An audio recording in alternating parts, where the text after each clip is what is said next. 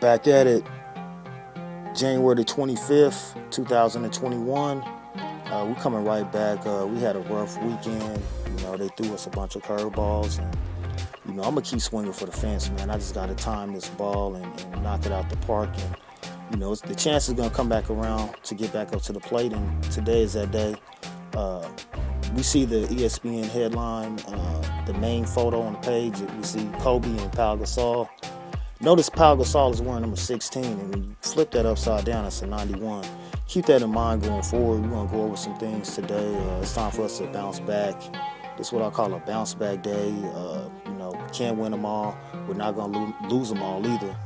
And with the law of the averages, you know, this is a law of nature. This is a law of the universe. You can't, you know, lose them all the time. You can't win them all the time. So we ran into that wall, and we, you know, we're gonna we're gonna go through that wall and accept it and move on and you know stay focused on winning. So today is January the 25th and the primary numerology is 67 for this day and that happens to be the 19th prime number.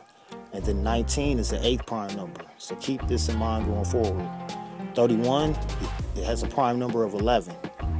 Uh, 13, 41 is a 13 prime number. We know that the uh, coordination with that, with Kobe being 41 and his daughter being 13. Uh, 47 is the 15 prime number. 11 is the fifth prime number. And then we have the 25th day of the year, which has a square root of 5.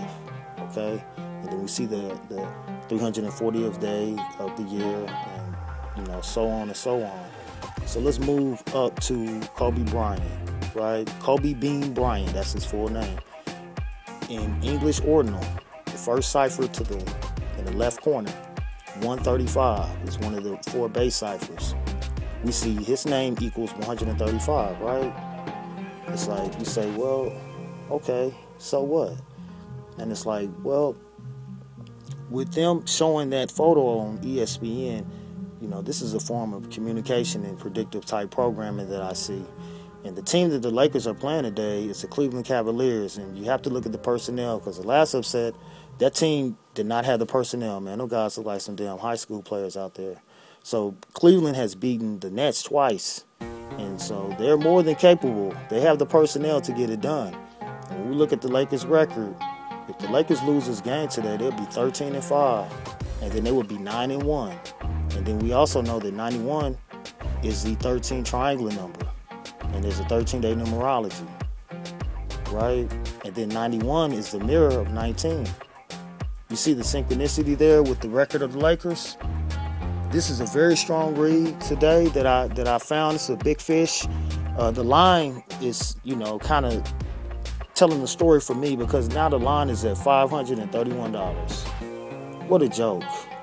The Lakers could go 13 and 5 and the line for that to happen is plus 531 and you telling me that that's not something that you would want to put something on? Come on now. But don't put money on this game. Don't put up your money. Just, you know, observe and, and see what happens.